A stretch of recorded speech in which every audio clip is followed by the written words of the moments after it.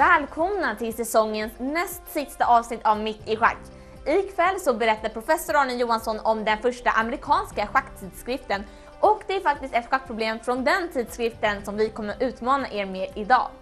Alfred och Adriana fortsätter med den slaviska öppningen med en anknytning till den pågående världsmästerskapsmatchen. Och på tal om mästerskap så är de amerikanska mästerskapen för herrar och för damer avgjorda och USA har korat två nya mästare. Här följer en sammanfattning från den elfte ronden producerad av Spectrum Studios och Macaulay Peterson.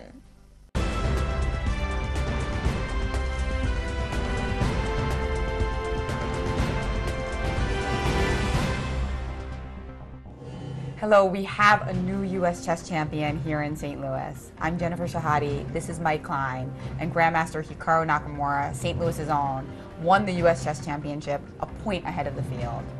That's right, yesterday he promised to go all out for a win as white, didn't want to leave his fate to chance, and he did just that. After e4, he didn't get what he probably was expecting. There was no Caro-Kann. After the French occurred on the board, he thought for about 10 minutes and decided to play the unusual system 2f4. Now, Yasser later said that he'd never faced it before in his career. Later on in the game, he developed his bishop in front of his d-pawn, which Yasser was expecting, but after bishop takes f5, a decision had to be made, which pawn to take back with. Since Yasser's pawn had already moved to g6, the natural continuation is to play g takes f5, but later on, Nakamura said this might have been a critical mistake, as the h-pawn that Yasser had remaining turned out to be very weak. Nakamura played b4 to b5 and then got a gorgeous knight on c6. Yasser Seirawan had no way to take advantage of the weak c pawn or the weak c4 square. In fact, things got worse as Nakamura played the nice retreating move, knight to b1, and then got total domination of the a1 to h8 diagonal.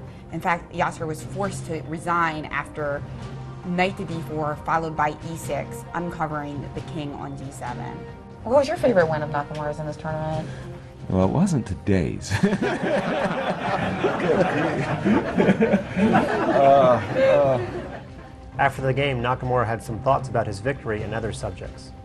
Well, It's just sort of trying to relax, uh, just, you know, kind of let, let everything blow off because it's a lot of pressure, a lot of tension for the past few weeks. So just trying to calm down and, you know, just enjoy myself for a little bit. Meanwhile, in the U.S. Women's Chess Championship, the tension is still tight. We've got two players tied for first with seven out of nine Irina Krush and Anna Zatonsky. Both won their final games. Both of their games finished within five minutes of each other. Anna repeated the same opening roughly that she played against Tatev Abrahamian from last year's championship. She ended up getting a very powerful battery of rooks on the c file, and as intimidating as they looked, Anna later said that Tatev's critical mistake was capturing rook takes c6. After the recapture d takes c6, there was just no way to blockade the d pawn. Soon, Tatev had to sacrifice a rook for it, and she soon lost due to the material deficit. Irina Krush, in her game against Kamila Bahinskaite, was pretty happy with the results of her opening, with lots of active piece play. And one of those pieces came right into the game with bishop to b5, scoring Camilla's queen to her pawn on e2. Irina Krush later said she was very happy to win this pawn, although she was surprised by how much counterplay Camilla ended up getting. Let's take that pawn now. It's a very strong pawn for white. And I was like, where? Because I was thinking, where did I go wrong? Like I thought I made all these decent moves, and I see white having all this counterplay, all these ideas of taking an f6, where black is not going to be able to win. So queen a5 was a pretty bad move. I mean, you know, sort of pseudo activating the queen. Really shouldn't be going there. I should have like just calculated better and played knight d5. But you got a second chance. I got a second chance. Then later, when she played knight takes d5, she was already pretty confident that she was going to be able to pull through with the win, and she did so quite easily. Her kingside pawn morass came crashing through. Although neither woman has lost a game yet, there's no rest for the weary. They'll come back tomorrow at noon Central Time to play a two game quick chess match. If they're still tied after that, they'll go on to one final Armageddon game. Now, Irina said she's not going to change her strategy that she's used all tournament. She will not over prepare tonight. Instead, she'll study a little bit and mostly just rest. She said every ounce of energy saved she'll be able to use in her match tomorrow. Now, these two are always vying for first in the U.S. Women's Chess Championship. Their rivalry goes all the way back to a controversial Armageddon game in 2008.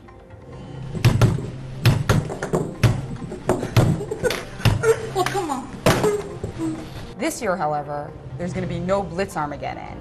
If they do tie that two game rapid match, it's a game 45 Armageddon battle. So, in addition to some exciting rivalry, we're also going to be seeing some high quality chess tomorrow. You're not going to want to miss it. This is it. The U.S. Women's Chess Championship will be decided at noon here in St. Louis and 1 Eastern. Check it out on uschesschamps.com.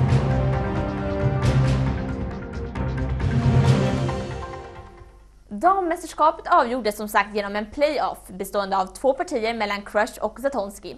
Crush vann båda partierna mot den regerande mästarinnan och kunde för fjärde gången ta titeln som USAs starkaste spelerska. Ni kan se en video från matcherna mellan de två spelerskorna och livekommentarer på uschesschamps.com video. Ett stort tack för filmen till Spectrum Studios och Macaulay Peterson och ett stort grattis till Hikaru Nakamura och Irina Crash.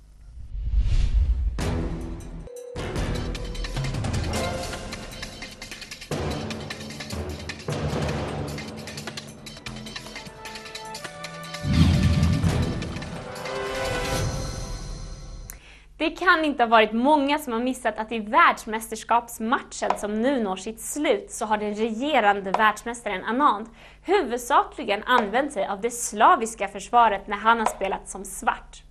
Man brukar säga att svart har lite av en uppförsbacke, har lite svårare att vinna än vit eftersom man hela tiden är ett drag efter. Och i den här typen av matcher, var man går flera ronder mot samma motståndare, så brukar spelarna välja strategin att eh, spela remi med svart och spela på vinst när man spelar vit. Och slaviskt har verkligen tjänat Anand väldigt bra. Bara en gång i rond 7 gick det inte vägen. Varianten som Anand har bestämt sig för att använda sig av skiljer sig lite från det vi har kollat på i de senaste avsnitten av öppningsskolan. Och skillnaderna uppstår efter vits fjärde drag E3, vilket följs av svart E6 och för oss in i semislaviskt parti.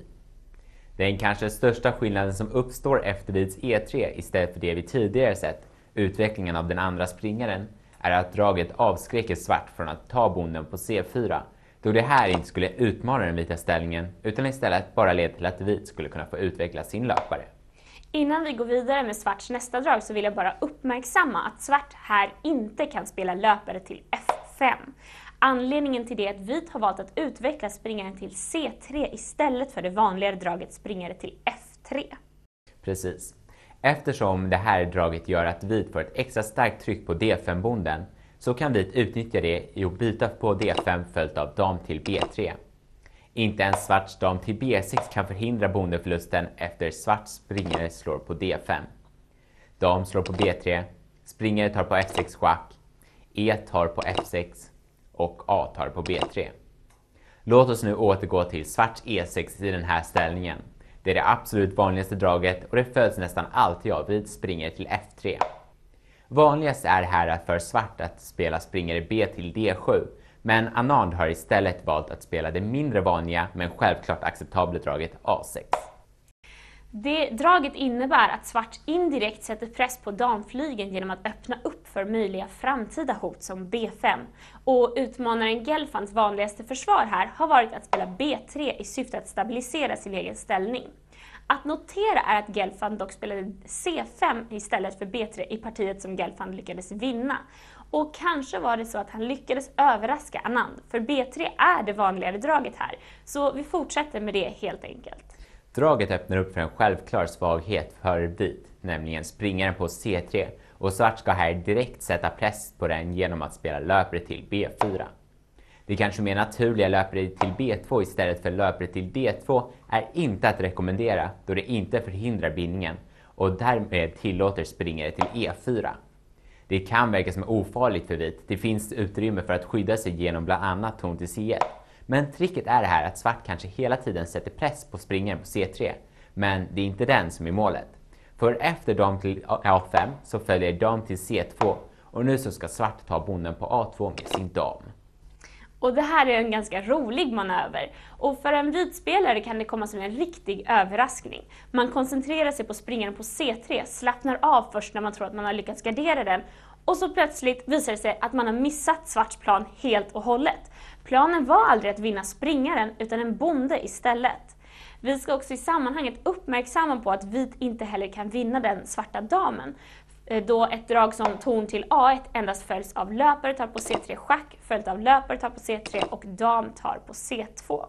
Det är minst sagt en snårig variant med många gömda och kluriga fällor och varje drag för med sig nya överraskningar. Man måste därför vara noggrann med sina drag här. Innan vi avslutar veckans avsnitt av Öppningsskolan så vill jag tipsa om att kolla igenom partierna mellan Anand och Gelfand som finns på eh, moscow2012.fide.com. På så sätt så kan ni på ett enkelt sätt utöka er förståelse för öppningen. Men nu lämnar vi över till Antonia för ett nytt schackproblem. Varsågoda!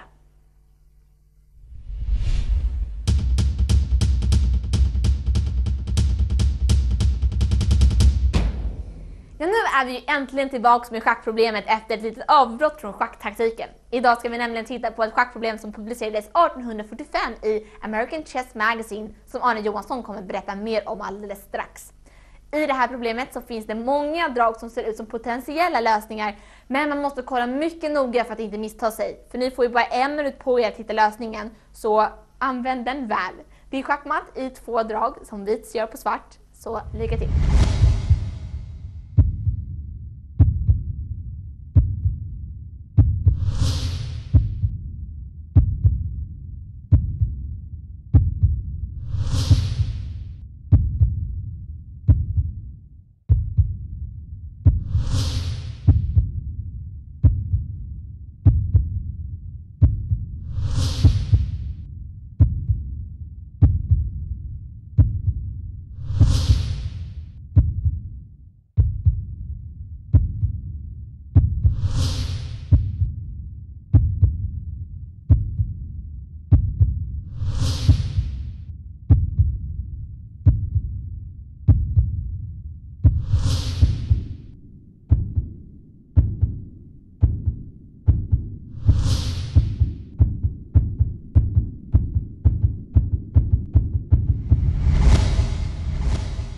Låt oss börja med att analysera den svarta kungens position, vilket alltid är det första man bör göra i den här typen av schackproblem, var motståndarens kung står omringad av våra pjäser på just det här sättet. Det vi märker är ju att den svarta kungen bara har en flyktruta, nämligen att slå vår springare på E5. Och förutom att flytta kungen så kan ju svart i och för sig även flytta sin C-bonde. Det första naturliga draget skulle ju vara att schacka med springen på C4 för att då samtidigt som vi garderar E5 få till en schack. Men nackdelen med det draget är dock att vi tillåter svart att fly till C6 eller D7 och efter respektive drag så har vi inte en schackmatt i ett drag. Och det här är också problemet med alla drag var vi flyttar springaren. Vi släpper alltså C6 och D7-fälten och om svart skulle spela kung till D7 så står vår löpare i ett slag i ett drag och då är det alldeles för många rutor att täcka i ett drag för att kunna schackmatta.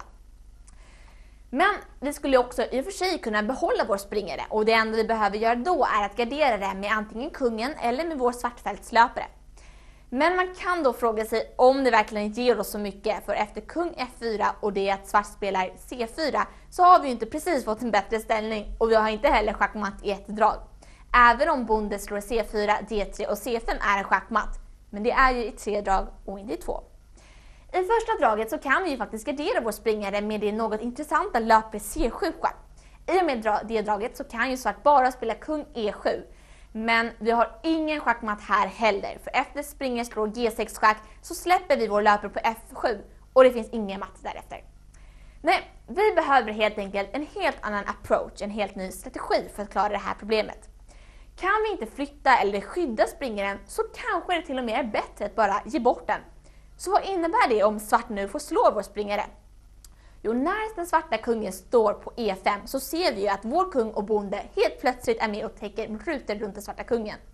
Och när vi spelar det något naturliga löpare C7 schack är det ju en schackmatt. Så vårt första drag ska alltså utnyttja det och se till att svart måste slå vår springare och inte spela C4 med bonden istället. Så det vi spelar är ju självfallet löpare C4. Nu måste ju svart slå springen på E5 för han kan ju inte spela någonting annat. Löparen blockerar ju bonden. Och då har vi ju löpare C7 schackmatt. Ja, det här problemet var verkligen vackert, framförallt för att det fanns flera drag som såg rätt ut, men bara ett som var det rätta, trots att det såg helt fel ut i en första anblick. Nu är det som sagt dags för schackhistorien med professor Arne Johansson som ska berätta mer om den första amerikanska schacktidskriften i vilken den här schackproblemet för första gången publicerades. Så varsågoda!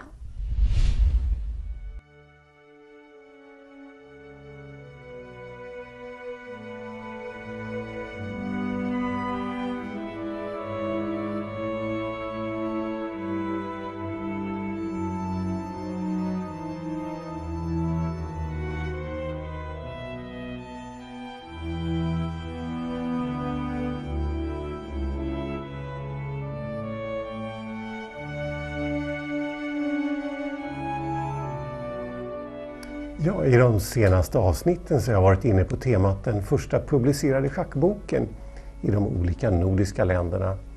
Och jag kanske återkommer till ytterligare några detaljer kring det här temat. Men idag så tänkte jag ta upp ett annat första tema. Det gäller den första amerikanska schacktidskriften som startade i november 1846 med Charles H. Stanley som redaktör. Tidskriften hade den enkla titeln American Chess Magazine men de tre första numren gick under namnet Chess Players Magazine. Charles Stanley var inte bara redaktör för den första amerikanska tidskriften. Han var också hederssekreterare för New York Chess Club och redaktör för den första regelbundna amerikanska schackspalten. Den fanns i New York-tidningen The Spirit of the Times med underrubriken A Chronicle of the Turf, Agriculture, Field Sports, Literature and the Stage. Och så här såg den ut.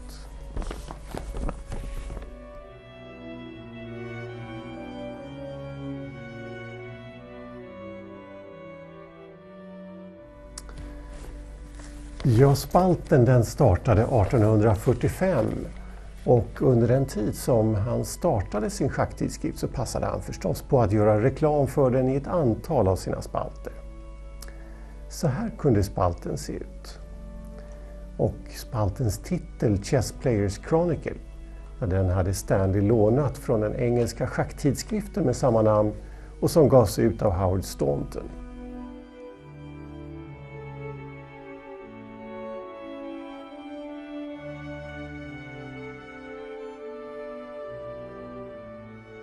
Längre ner i samma spalt så ser vi just reklamen för den nya schacktidskriften. Trots reklamen så fick tidskriften, som många andra schacktidskrifter, en kort livslängd. Den upphörde redan i slutet av 1847 och allt som kom ut finns samlat i den här volymen. Som vi ser här på titelbladet för samlingsvolymen. Och hela den långa titeln lyder American Chess Magazine, a periodical organ for the communication of American chess players for the arbitration of disputed points and doubtful questions arising in the study and practice of the game of chess, for the instruction of young players and the amusement of all. Ja, man var förtjust i långa titlar på den tiden. En eh, normal samlingsvolym skulle förstås innehålla de enskilda numren i ordning, men någonting som är ganska udda med den här samlingsvolymen det är att redaktören verkar ha strukturerat om materialet till viss del och har samlat alla schackproblem till slutet av boken. Det är hela 96 problem varav en hel del är komponerade av Stanley själv. Volymen inleds efter en sex sidor lång innehållsförteckning med en kort introduktion där Stanley uttrycker sin entusiasm för att starta den nya schacktidskriften. Ja, den ger en del schackreportage från olika delar av USA men också från större schackhändelser i Europa. Tidskriften innehåller ett antal artiklar med enkelt instruktionsmaterial för nybörjare uppblandade med partier hämtade från spel vid amerikanska schackklubbar och däribland en del av Stanleys egna partier. Bland de amerikanska schackreportagen med titlar som till exempel Chess in Kentucky och liknande så rapporteras bland annat om korrespondenspartier mellan olika städer. Bland de lite mer udda artiklarna kan nämnas Napoleons Retreat from Moscow med den här illustrationen. Ja, ställningen hade skickats av den berömde ryske schackteoretikern Petrov till fransmannen Labourdonnais. Texten under diagrammet lyder The square on which the black king stands is Moscow and the Berezina is represented by the long white diagonal commanded by the white queen. Black's king's rook square is Paris. The Cossacks are in full pursuit and drive Napoleon from Moscow to Paris, where the Tsar achieves his victory by a check by discovery. At the sixth move, the Russian queen might have checkmated by opposing the passage to the Berezina. The impetuosity of the Russian cavalry, however, frustrates his movement. Slutcitat där. Ja, vi konstaterar att numret avslutas med rapporter från schackklubbarna i Philadelphia, Boston och New York. Men vi avslutar här med en animering av lösningen till den långa Napoleonmanövern och återkommer nästa vecka med ett nytt tema. Så vi ses då.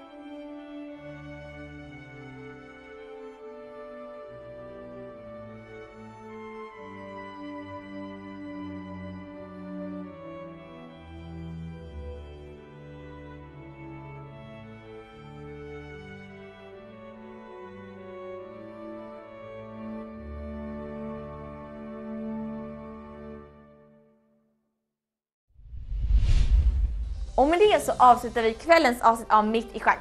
Glöm inte att titta in nästa vecka för då sänder vi det sista avsnittet innan sommaren. Så ha det bra tills dess. Hejdå!